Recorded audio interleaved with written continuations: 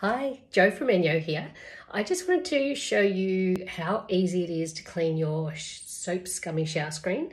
Uh, mine is looking quite ordinary and um, yeah, I just wanted to clean a bit of it uh, on film so you can see how easy it is. So um, yeah, enjoy. So I'm just going to spray uh, because the shower is dry, I'm just going to spray it with a bit of water. Uh, if someone had just had a shower and the shower was wet, I wouldn't need to do that. Um, I'd probably just give the, give the glove a bit of a spray uh, first. So with your bathroom glove, it is, I'm just going to do to there, as simple as that. And then with your bathroom miracle, you dry off that dirty water.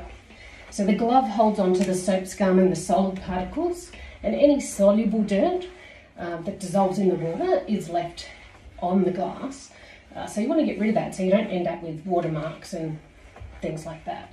So uh, I don't know if you can see the difference between where I've cleaned and where I haven't cleaned. But uh, it is so easy to use. I don't know why everyone's not using ENJO to clean